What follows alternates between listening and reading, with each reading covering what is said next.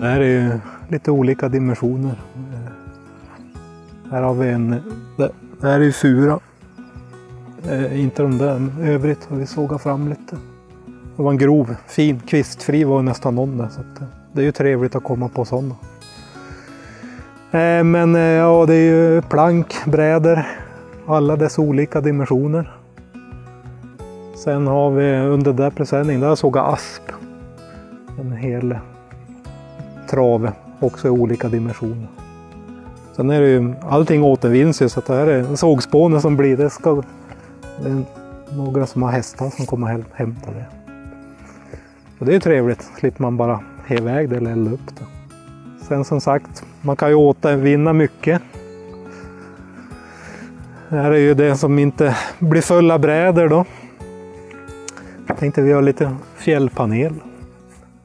Köra av barken här fräsa till det. Det är väl det som, det är väl det som är fördelen med eget sågverk. Man kan ju återvinna det mesta av, av stocken. Eh, just, just för mig, min del så återvinns ju allting.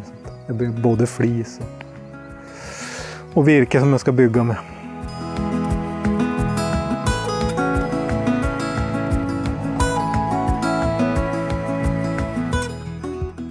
Det är väl återbesök. Vi är Torrom en gång till i Häggdånge.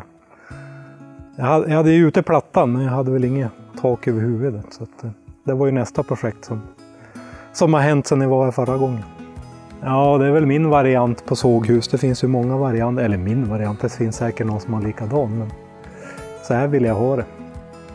Jag har gjort med så jag tar in stockarna på ena sidan och kan ta ut bakaven på andra sidan. Då. Och så med jalusi eller draperier kan öppna och stänga.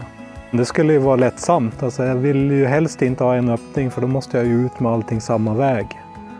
Eh, så att nu, nu lägger jag det, vi har ju en, en skogsmaskin så jag lägger dit stockarna på den här sidan. Och så slänger ut bakaven där då. Så kan man hämta den då. Jag har en bror som har fliseldning så han tar ju det mer än gärna då.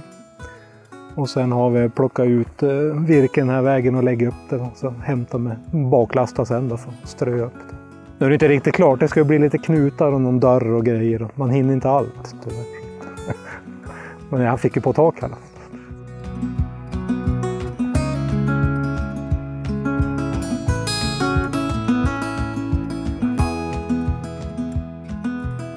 Jag ska säga att jag fuskar lite grann. Det är faktiskt limträbalken köpte jag. Det. Man kan inte göra allting själv. Att... Men eh, i övrigt är det eget, eget sågat. Det är ju gran till stor del, men jag har nog provat såga det mesta. Det, det här är ju byggt av gran. Eh, men jag har även provat såga asp, eh, fura. Ja, det som ligger, ligger här nu är ju de klenare dimensionerna. Jag har ju brottats med de, de grövre.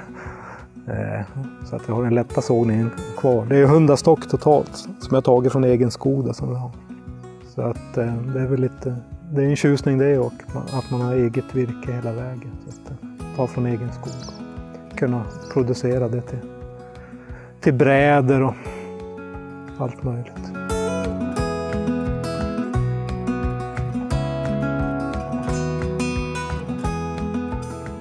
Det här är tredje året så att eh, ja, det är nog ja, det är uppemot 400 stock skulle jag tro. jag, försöker, Det är ju i skogen på vintern och så blir det ju nu då, på våren att man sågar och försöker vara klar så det ska torka. Man vill gärna ha det klart till midsommar. Kanske. Sen är det ju liksom den större delen, sen blir det ju alltid någon extra sågning någon, någon gång då och då. Det här blir väl någon klenare dimension, jag har inte riktigt bestämt. Jag har ju en malla upp hur mycket, mycket virke jag behöver. Men jag brukar ju oftast inte bestämma i förväg. Det beror ju på när man börjar ta, alltså börjar såga får man se vad man kan plocka ut av det. Man har ju lite, det är ju lite tjurved och sånt där. Här verkar ju vara en tjurved. Man, man får ju se vad man kan plocka ut av det. Eh, men som sagt, jag har ju en grund. Det jag behöver för att bygga. Så att, eh. Sen bestämmer jag inte exakt vad jag ska plocka ut av varje stock. Eh, men man mallar upp lite innan och sånt där. Nej, men jag hade ju han på syllar först. Eh, Och det funkar ju bra det också, men, men eh, jag känner att eh, blir det grövre dimensioner alltså, på stockarna så blir det mycket bättre. Det var lätt att det satt sig, liksom. det gäller att få en bra bädd. Men jag ser ju nu är det ju klockrent. Och det är lite, lite trevligare och man kan ju hålla rent runt omkring sig också.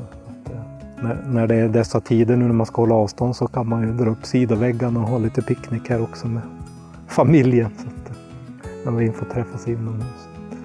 Ja, det här ska bli klart. Det ska bli på lite lock och knutar och grejer som sagt. Men sen ska, hade vi tänkt bygga en maskinverkstad. Så det blir väl, jag vet inte om det, det får väl bli återbesök tre då när den är klar. Men det är tanken att såga själv till det också. Sen eh, nu när man har mycket virke måste jag ha någon virkesförråd så det ska vi försöka få till i sommar. Här. Jag vet inte, man ska väl vidareförädla det här så det blir väl något hyvel, hyvel och grejer. Nej, jag vet inte. Man blir fast i sånt.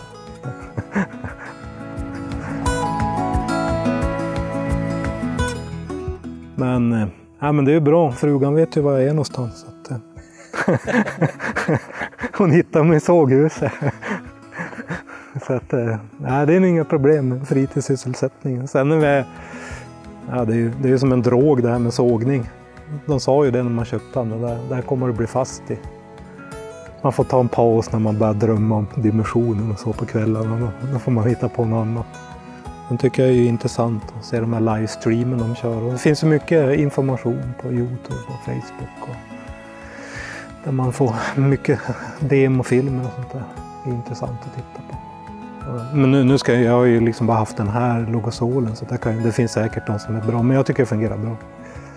Det, varför ska jag byta? Det är ett vinnande koncept så för mig så kan jag fortsätta med det här. Det är möjligtvis att man ska upp, uppgradera den men det, vi börjar med den här nu.